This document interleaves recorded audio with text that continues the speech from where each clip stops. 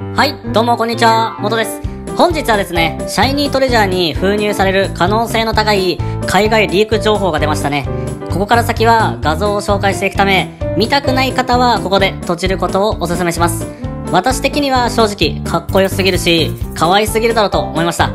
賛否あると思いますが、皆様の考えをコメント欄へ教えていただけると嬉しいです。それでは、こちらです。リザードン EX SAR とミュー EX SAR です。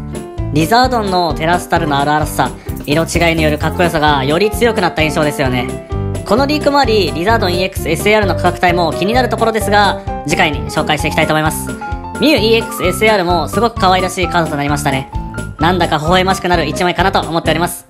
今後も少しずつカード情報が出てくると思いますが、本当に発売までが楽しみですよね。今後ポケモンカードに関する情報発信していきたいと思いますので、よろしければチャンネル登録、高評価よろしくお願いします。ここまでご視聴ありがとうございました。